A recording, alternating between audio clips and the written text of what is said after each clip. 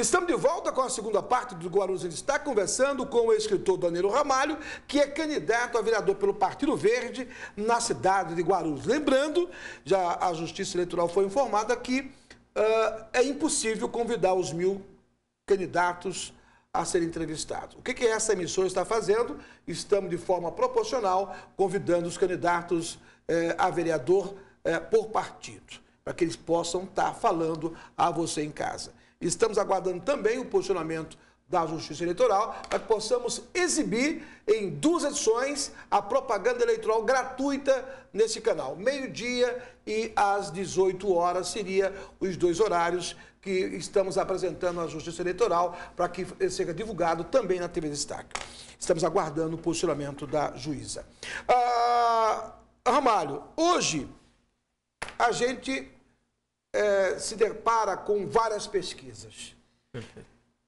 De uma, de uma certa maneira, para quem está fazendo, é, fica à vontade, tipo, salve quem puder. Mas quando essa pesquisa chega na mão do eleitor, na sua opinião, essa pesquisa ela induz para o bem ou para o mal? Eu acho que a pesquisa é um termômetro interessante de campanha eleitoral. Mas a gente tem que ver que a cidade de Guarulhos é muito complexa, né? É, se você tem uma pesquisa, é difícil ver a pontuação, mas você tem uma pesquisa que fala que 60% das pessoas não sabem quem vai votar, nós temos um dado relevante e preocupante. Olha o quanto a política está distante da sociedade em Guarulhos. Então, eu vejo a pesquisa pelo que ela, um, maior que ela representa. Se você olhar hoje, todas as pesquisas que foram feitas, quem tem mais votos é a oposição. Então, haverá uma mudança. Então, eu estou aqui como candidato, mas eu quero que vocês acreditem nisso. Que a oposição vai ter seu lugar, mas depende do eleitor. É, a gente tem um problema de critica os políticos, né? mas o eleitor, quantas vezes eu já vi uma pessoa na beira da escola pegar um papelzinho assim, ah, peguei meu candidato e vou lá. E, sinceramente, as pessoas deixam para a última hora. Não pode, gente. E não pode se basear em pesquisa. Tem que ver a proposta, o que essa pessoa tem de valor para a sociedade. Agora, o, Danilo Ramalho, uh, hoje, essa pesquisa, nós temos uma pesquisa que sai na folha cor laranja, uma pesquisa que sai na folha cor azul, que nós temos duas folhas metropolitanas na cidade de Guarulhos. É, quer queira que não, você deixa o eleitor é, com dúvidas. Porque num cenário onde mais de 60% da população ainda não definiu o seu candidato, isso é, é, é, é, demonstra que os candidatos a prefeito vão ter muitas dificuldades em conquistar um voto. Né? Imagine a atenção do eleitor. Ah, hoje, falta discutir plano de governo. Você que está andando bastante, você ouve que tipo de crítica do eleitor em relação a campanha majoritária dos prefeitos? Falta discutir projeto, plano de governo? Eu acho que isso é evidente, né? O que, que eles estão apresentando para a sociedade? Discurso, fala, folder, né? Qual o material que realmente está mostrando que aquilo, né? Estamos discutindo o governo. É, eu acho que o que, que reflete no Brasil e está refletindo em Guarulhos, a nossa disputa é ideológica. A disputa na cidade de Guarulhos é a forma de encarar o governo é a forma como cada um põe a prioridade. Alguns vão priorizar o populismo, que é o que temos nos últimos 10 anos isso, né? tudo a troca de voto. Estou vendo com muito otimismo na oposição propostas de realmente ajudar o desenvolvimento econômico da cidade, ajudar as empresas a gerar emprego. Né? Eu acho que essa postura ideológica é o centro do debate, né? é, é feito de, de forma pueril, mas é, esse é o, é o âmago do debate na cidade. Como é que você enxerga a cidade de Guarulhos? Agora, vocês estão na. Eh, fizeram uma coligação na proporcional com o PHS e na majoritária com o PSD.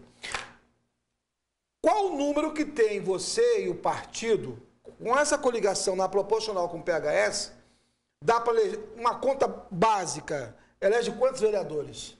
Olha, não dá para saber, não é. dá para saber. A gente tem grandes nomes né, né, é. nessa coligação. Um dos expoentes lá do PHS já é o vereador, o vereador americano. Uhum. Mas é uma chapa diferente, é uma chapa com ideias diferentes. O americano é uma pessoa que defende os taxistas muito bem, tem um trabalho legal. Eu sou bem favorável ao Uber, né, essa desregulamentação. Eu acho que a gente tem que pensar em políticas públicas, né? Sem em São Paulo já foi aprovado, Onde né? já foi aprovado, então pode haver divergências. Eu acho que não tem problema nenhum. Acho que a política é o local da divergência. O que não pode é o debate pueril pessoal. Né? A gente tem que discutir a cidade. Eu estou cansado, Gerardo. Eu quero discutir os problemas da cidade. É, não, vai, não tem reforma política que vai resolver a corrupção. Ah, vamos fazer, vamos diminuir a coligação, vamos fazer é, volta distrital. Não é nada disso. O que tem que mudar são as pessoas que se candidatam. O que tem que mudar é a postura do eleitor na hora de escolher o seu candidato. Agora, é, hoje a cidade de Guarulhos, né, com o seu tamanho territorial, fica muito difícil, já abordamos isso, em 30 dias você fazer campanha eleitoral. A, a situação econômica do, de Guarulhos é, é, não é segredo para ninguém que hoje Guarulhos não recebe recursos é, da ordem federal e estadual porque está inadimplente com seus encargos federais.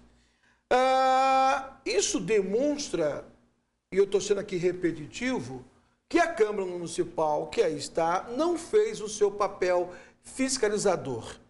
Quando você está falando de sua campanha, qual é o seu projeto principal e o que você fala que vai ser diferente do vereador que aí está? Bom, primeiro você tem que ter independência, você tem que ter uma equipe técnica e você não tem que prometer além do que é a sua função. Né? Você não pode ficar usando né, de discurso para enganar a população. Vou ser muito sincero, a função do vereador é fiscalizar, é ver se o seu dinheiro está sendo bem gasto, é ver se o dinheiro chegou lá no posto de saúde.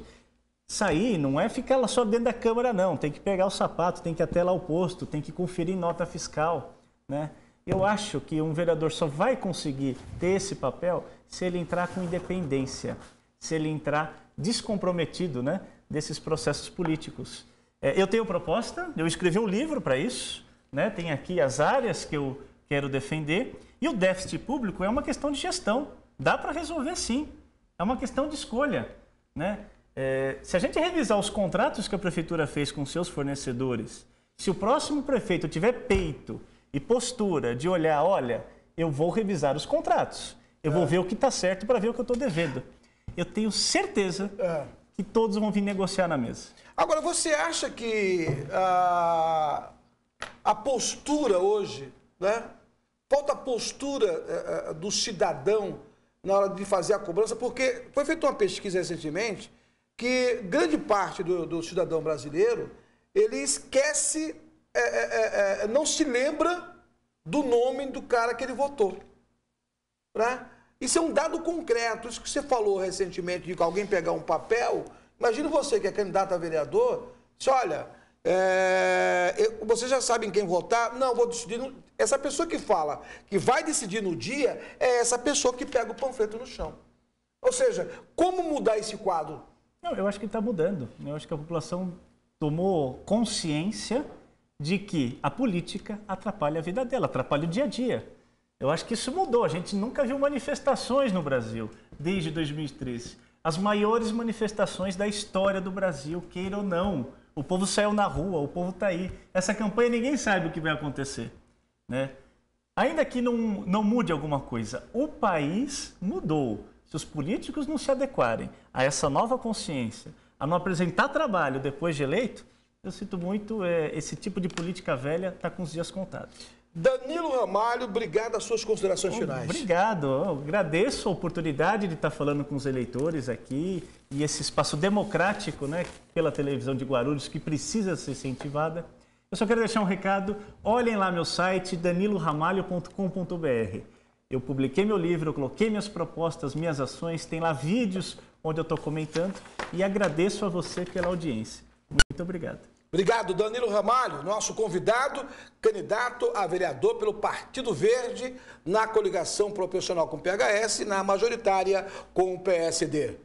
TV Destaque, 12 anos fazendo jornalismo com responsabilidade.